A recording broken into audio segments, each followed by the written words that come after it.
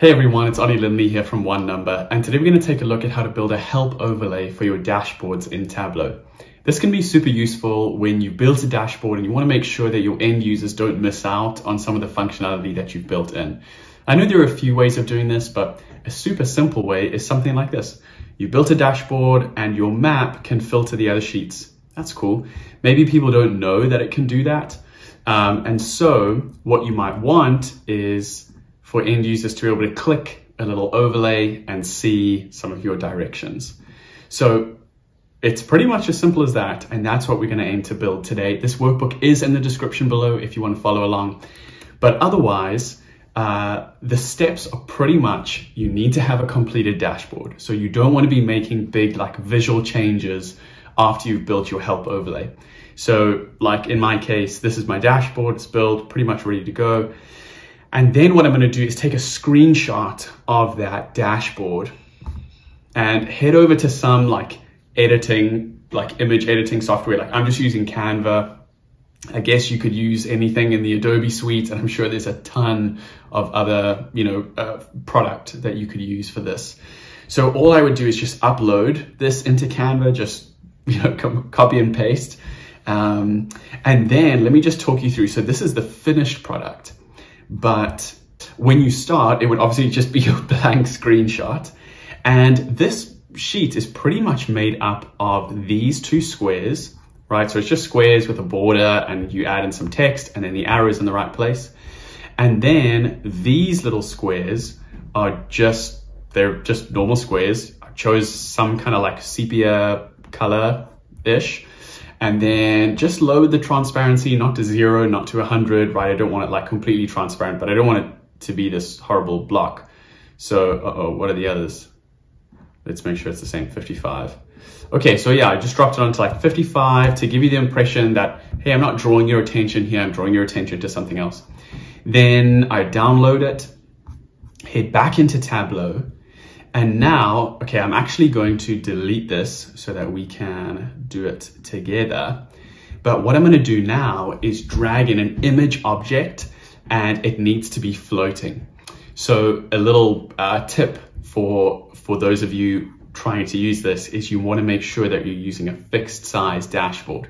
If you use an automatic size dashboard, that automatic, um, sorry, that floating object could end up all over the place and it's going to make sure that your image object doesn't perfectly overlay the dashboard, which is what you need to give the feeling of a really nice help overlay. Um, so I'll show you exactly how to launch this now, but if you're keen to learn a little bit more about Tableau, we'd love to help. Uh, we've launched a Tableau Passport, which basically gives you access to all our classes for 50% off, as well as an office hour. And we're, we're uh, actually workshopping a couple of extra classes at the moment. So if you don't want to miss out and you want to take your Tableau training to the next level, we'd love to be a part of that journey. You can check out uh, some more information on the Tableau Passport below. So let's build this overlay. So what we're going to do is make sure that we've got a floating object and I'm going to drag in an image. You can just drop it anywhere, it doesn't matter. This little file will, uh, menu will pop up. The file I'm going to choose is, uh, here we go, filter our region sheets, and I'm just going to fit and center it. Okay, that's, that's pretty much it. This is what it's going to look like. Uh, I'm going to drag it as close to the top left as possible, but the minute my cursor goes out of the dashboard, it just drops it out. So as close as possible. And then I'm just gonna use my like directional arrows actually just to get it right in the top left. And I, I think that's pretty close. And then I'm just gonna drag it out to the bottom right and try and do the same thing. Okay, something like that. That doesn't look too bad. Then I'm gonna hit the drop down and I'm gonna say add a show hide button. And you can position this wherever you want. I think I'm gonna put this at the top right um, seems like that's a nice place to have it. So at the moment, I mean, this is going to work. I, if you hold on the Alt or the Options key, depending if you're on Windows or Mac, you'll see, yeah, okay, that's not bad. Um, hmm, it's not perfectly aligned, so I might just, maybe it's not quite big enough. You know, you'll have to play around with it. Oh, that's not too bad. Yeah, you'll have to play around with it to get it quite right. The one thing that I think I still want to tweak over here is I want to change what this button looks like uh, so that it's super clear, well, I guess as clear as it could be just using icons, that this is a help overlay. So I'm gonna click the drop down on this button and I'm gonna edit the button. And then I've got the option to edit it when it's shown versus hidden. So when the item is shown, that's when the image is shown. I'm going to choose, uh, let's go to my Tableau repository. I've actually saved some shapes here, some icons. You can get these off flaticon.com. It's a really, really useful website and I use them for lots of things. Um, just like some standard icons. So I think this is like a, this little alert one might be a, a good like, hey, click on me if you need, if you need help. And when the item is hidden, oh, I'm doing this the other way around, wait when the item is hidden, so when there's no help overlay, I need the alert icon to say click on me. You can see the help overlay. When it's shown, I'm to go back to this like map icon, maybe like return to the map. And let's hit OK. So now you can see that in there.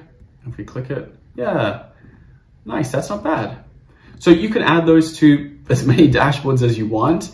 Um, recently, I did a video on using dynamic zone visibility to swap between worksheets using actions. And I actually recently built a, built a dashboard for a client where we used dynamic zone visibility with actions and hook that up to a help overlay. So depending on what you click on and what sheets are displayed or hidden, the help overlay changes as well. So that's pretty cool. You can check out that video here. Um, hopefully that's helpful. If you've got any questions, you're welcome to uh, pop those in the chat. We'd love to help. And if you've got any other topics that you want us to make some more videos on, that would be awesome. All right. Thanks for joining us. We'll see you next time.